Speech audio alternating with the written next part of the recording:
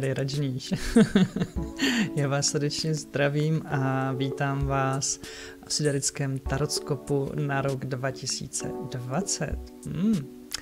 A mám tady připravené anděle hvězdného Avalonu a já si tady budu chvilinku míchat a budu se ladit na všechny své odběratele a náhodné chodce. Oh, to jsem řekl, jen jsem to řekl, už mi tady vystřelila karta.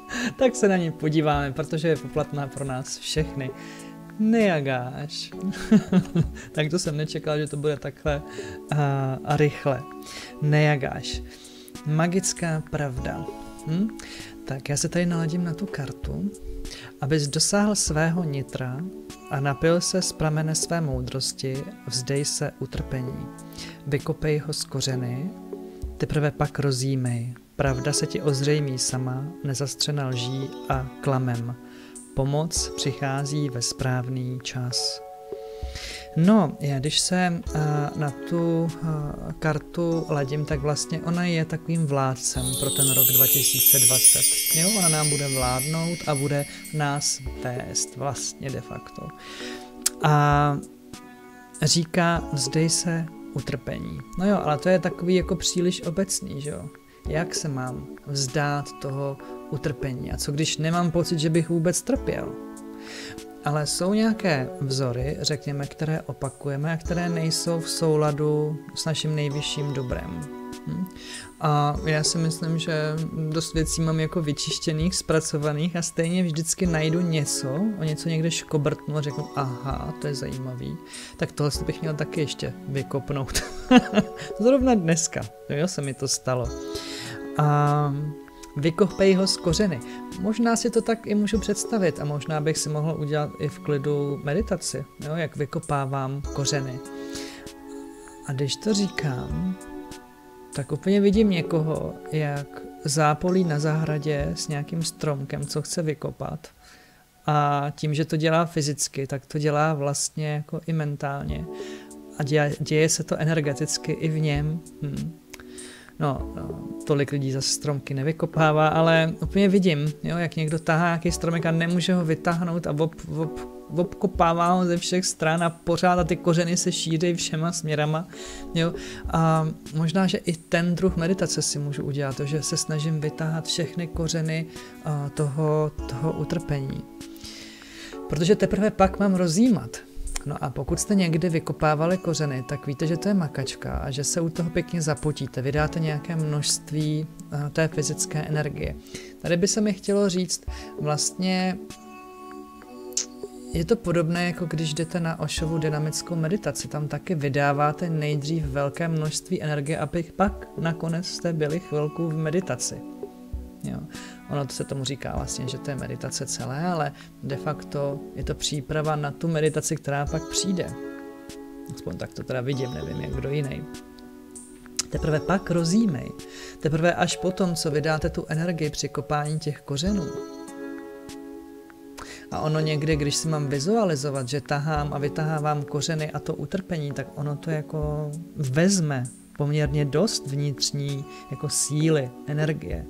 Jo, pokud to chcete dělat poctivě, jo, že si večer lehnete do postele na dvě hodiny a vizualizujete si, že taháte ty kořeny, kořínky, vyčištíte tu svoji zahrádku, vlastně zahrádku své duše, tak teprve pak, až když to uděláte, tak oh, tam sednete celý spocený, umolousaný od hlíny a teď můžete jako rozjímat, takhle vám tečou čůrky potu a možná se budete chtít nejdřív jako umýt a pak se vrátit k té zahradě, pak si uvědomíte, no a to je takový celý tady rozmrcasený, to není úplně to pravý ořechový, jak jsem si představoval, že budu uh, rozjímat.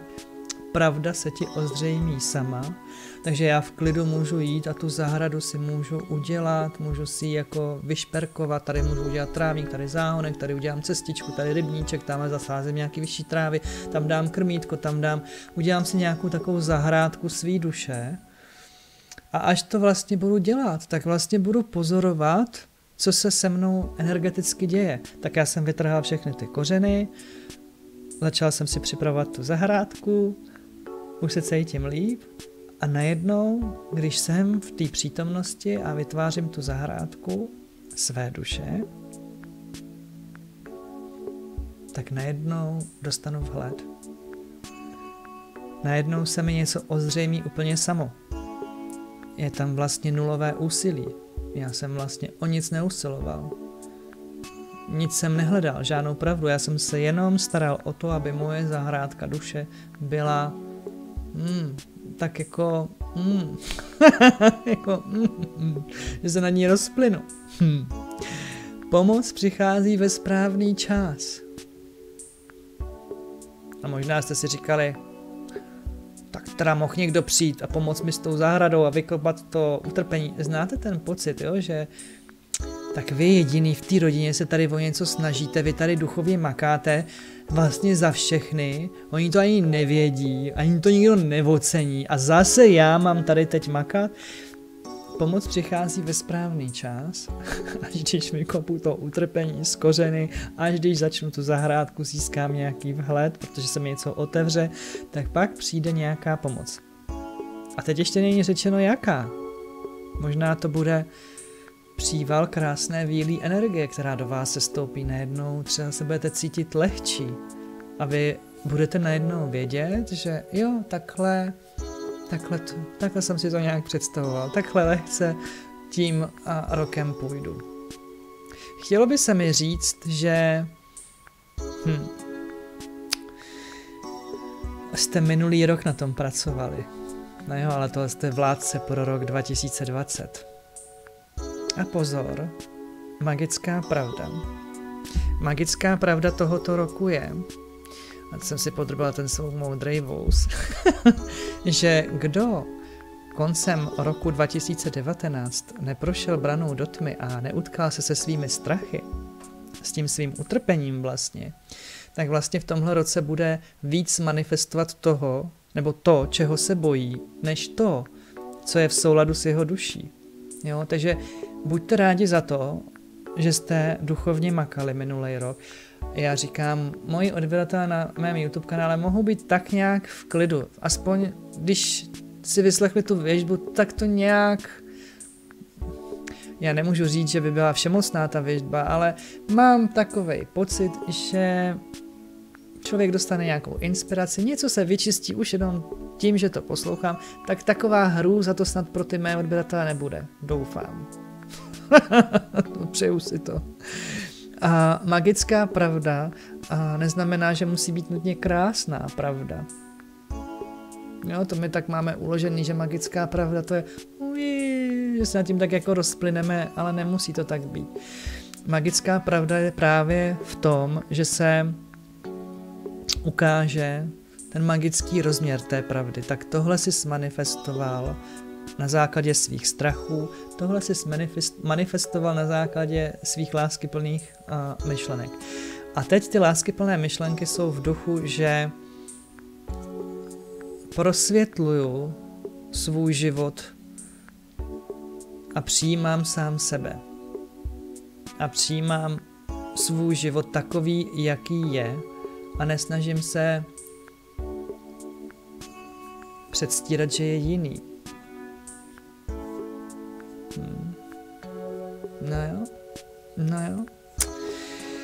Takže nejagáš. Je to karta číslo 25, takže možná, že to bude platit zejména pro ty, kteří jsou a, vybračně v roce sedmičky, anebo kteří mají životní číslo 7.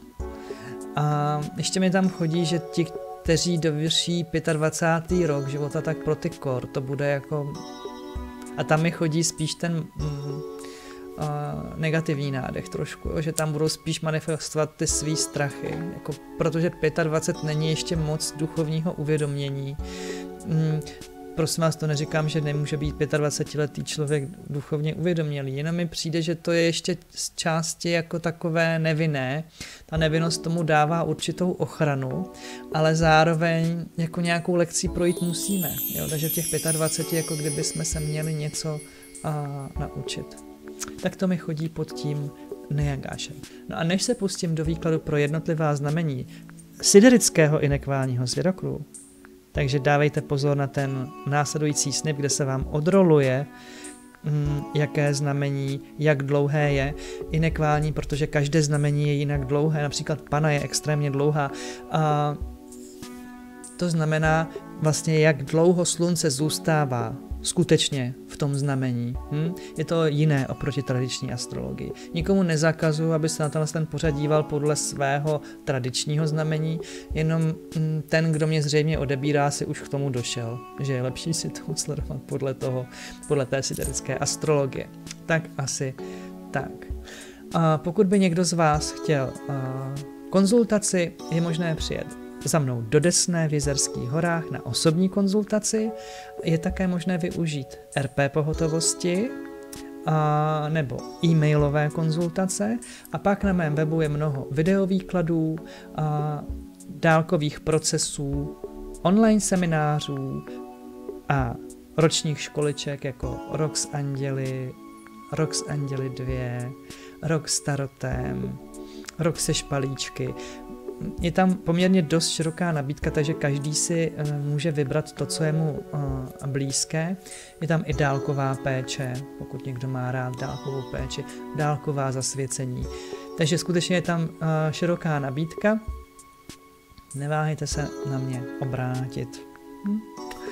Tak jo, no a už jdeme na to. Připraveni? Hmm.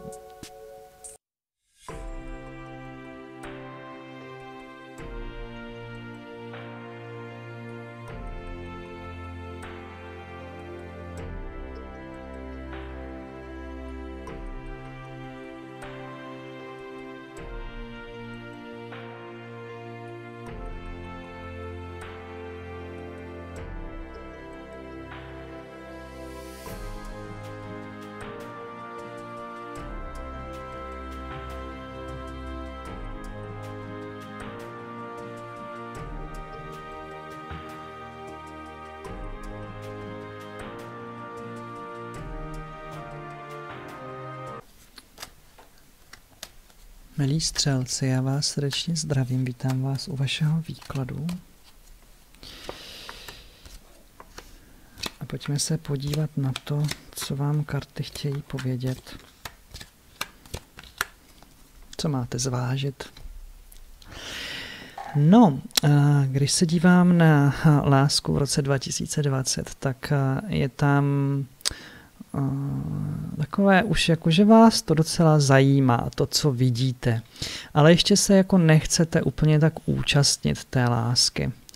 Um, trošku se bojíte, že nemáte dostatek zkušeností, ale už tam je víc toho pokušení do toho jít, než tomu bylo u jednoho z předchozích znamení. Je tam, že jste ochotni jako riskovat. Když se dívám na výdej energie, kam směřuje jako největší výdej, tak to je zamezit nějaké změně, jakože jsou oblasti, kde změnu nechcete a stojí vás poměrně dost energie, aby ta změna nenastala. Přičemž mm, je to podobné tomu, co vidím hned vedle, že když se podívám na výdělky, tak je tam poměrně dost velkého úsilí, jako až přemíra práce, až jako sedření se k smrti a to je vlastně podobný tomuhle, jakože já vydávám strašně množství energie na to, aby se něco nezměnilo. Vlastně já nechci méně práce. Kdybych chtěl mít práce, tak bych si to nějak jinak přeorganizoval, tak bych možná řekl někomu o pomoc, nebo bych eh, z toho nějak vystoupil. A chodí mi, že je to i poměrně dost vydané energie na nemoc nebo na nějaké zdravotní omezení. A může to být i něco spojeno eh, se skrytým onemocněním, protože tady máme jako krev, takže jako aby to vyšlo z krevního rozboru. Je to něco, co není tak očím viditelné. Vy můžete vypadat zcela zdraví a přesto můžete být pořád unavení a podobně. Jo? Um, takže tady je něco ovlivňující jako krev. Ježíš, ta krev mě tady jako úplně drží teď, jo? že hmm,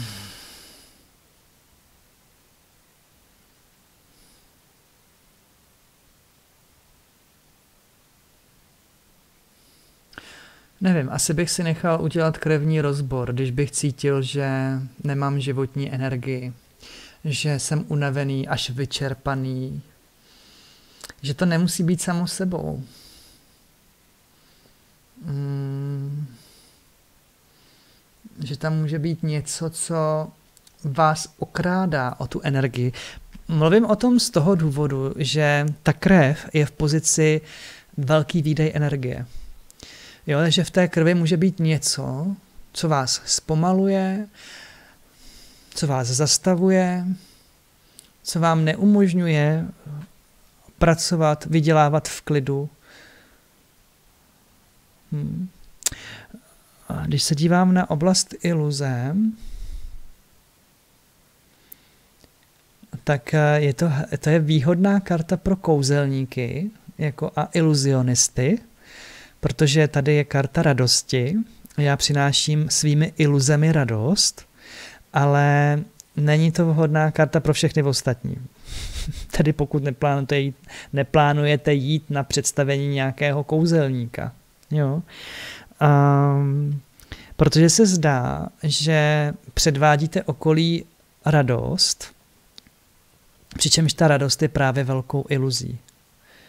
Vaším největším podvodem totiž je, že nechcete ukázat, jak se vaše jakoby věž bortí, a tu věž ve vašem případě už zasáhl blesk. Jo, to není, že čekáte, až zasáhne. Tady to je fakt, že už ten blesk zasáhnul vaše slabé místo. Teď se tam něco bortí, konec konců změna, který se snažíte zamezit, souvisí právě s tím, a ono něco končí, jako něco významného ve vašem životě a vy prostě předstíráte, jak je to v pohodě, jak je to fajn, ale kdo tomu věří? Možná tak vy, okolí určitě ne. A konec konců vaše spokojenost mizí, úplně se rozpouští, jo, je tam i finanční nejistota, velká finanční nejistota. A možná i z toho důvodu jste opatrní jakoby v té lásce, jakože teď jako lásku, no tak to, to by bylo opravdu jenom o lásce, to by nebylo o nějaký eh, zabezpečení nebo No, to by bylo opravdu jenom o lásce. Úplně když tady s váma povídám, tak se vrtím na židli, jak mi to je nepříjemný o tom mluvit. Jo. když se dívám na harmonogram, no tak harmonogram tam bude záviset právě na tom, kdy spadne celá tahle vaše věž. Jako. A úplně mi chodí říct celá tahle věž, jo, tady už něco padá, vy to, se, se to snažíte udržet, jako tu věž Jenga, no ale vlastně něco končí a vy nemáte moc a sílu nad tím. Hmm. No a když se dívám na vize, tak vy vlastně čekáte, že tohle to mi přijde no jako poslední uh, loď uh, kterou odjíždí elfové, veď ta starý svět, tady už v něm nemají tu svoji úlohu a vy tam čekáte, jako jestli náhodou ještě něco jako nepřijde, ale vlastně nepřijde. Jo. Tady ta vize mi přijde, že je prázdná. Prázdná, protože vy čekáním na tu vizi a ten nápad vlastně chcete jako překonat tuhle krizi, kterou tu zažíváte. Hodně zajímavý teda. No. Podle mě to musí všechno padnout a pak má přijít něco nového. Takže ten rok 2020 bude o jednom velkém borcení de facto. Možná pro lásku. Možná to nečekáte, zamilujete se do někoho mladšího a zbortí se vám předešlý vztah, rozsype se vám původní rodina, teď jak to bude s bydlením, teď jak to bude s prací, teď jak to bude, protože jsme měli dohromady firmu, že jo.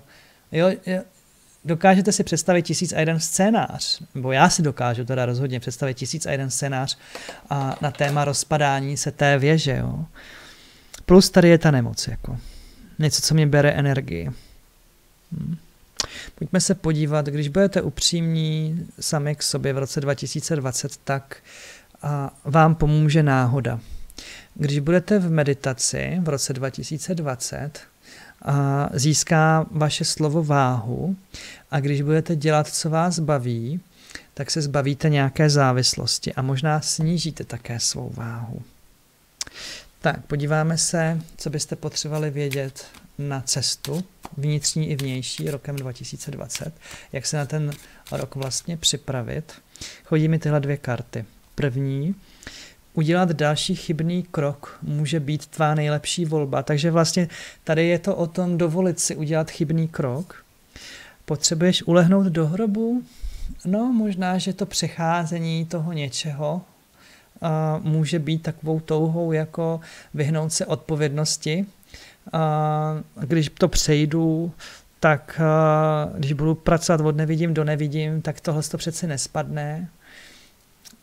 Takže nestrkat hlavu do písku, jednoduše řečeno. Podíváme se na barvy pro vaši duši. A vyloženě mi teď chodí Wafahil, tady ze spodu.